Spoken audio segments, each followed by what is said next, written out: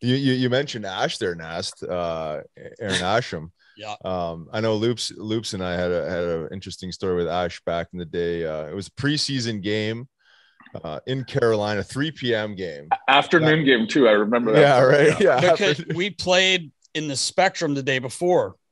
Remember, we played that game in the that- Spectrum, yeah, and then yeah, yeah. flew and flew down. Oh, it was an right. afternoon. It was an afternoon game that day. That's why we had time to go All out. right, all right. That's what we had time to I go. also Yeah. remember too. Yeah, I played in the game at the Spectrum, and then I was playing in this one too, and I was just like, How Why- is this happening? I don't want to be playing in both these games right now.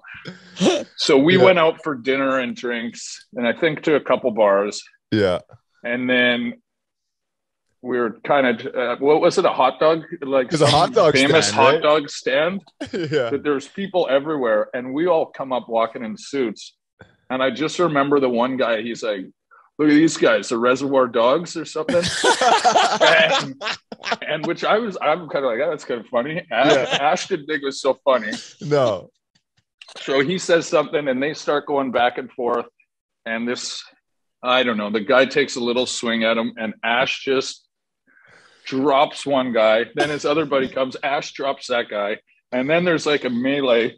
We're tying, I- I'm like laying on a guy in my suit in the street. It was raining. Coates out is in there, it not? Glen Metropolit. Yeah, yeah.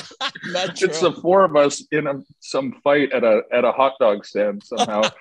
There's there were some guys sleeping though. Yeah. Oh, there was guys there was there was yeah, the two in particular screaming. were absolutely sleeping. The one there's girls going crazy and it's just it was Oh, it, it could have it could have been bad. The cops came there actually kind Yeah. of cool and they just sent us on our way. I don't know how we squeezed Um, out of there what wasn't cool trouble. was when we had to we had to bring it up to the team just in case.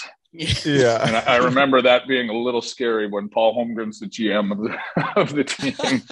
we are talking about the Oh, man. Donnybrook at the hot dog stand before the afternoon game. Yeah. you know, tough, tough call to make. he would.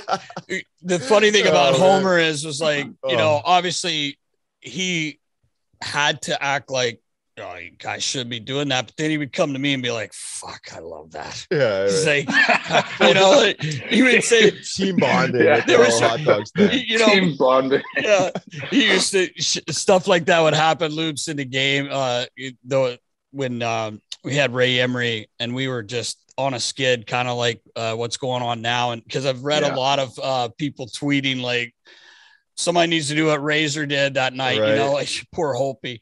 he didn't give him a chance Yeah, he, he told him to he said you better defend yourself but anyway um all that shit goes on you know and homer comes walking down the hall and, and uh, he's got that look and he kind of goes into the room and then he comes back out of the room because there's media and i'm standing just in the hallway and he looks at me and he goes at a chub because he, he was like he goes i got so Just loved excited oh Yeah. Oh, man. and and you know it he turned had it to turned put on a front in the dressing room. Like oh he yeah, he had it, but- to. Yeah, I loved it. I'm like, oh my god, that's great. Yeah.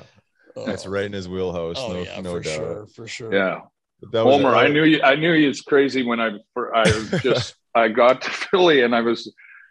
We had, we had that room in our practice rink with the hot tub, cold tub, steam, and and he used to just sit in that cold tub right up to his ears. Yeah, I, I don't even think you're supposed to put your heart under there for that long. But he would just sit in there for like 20 minutes in the cold tub, right up to the chin.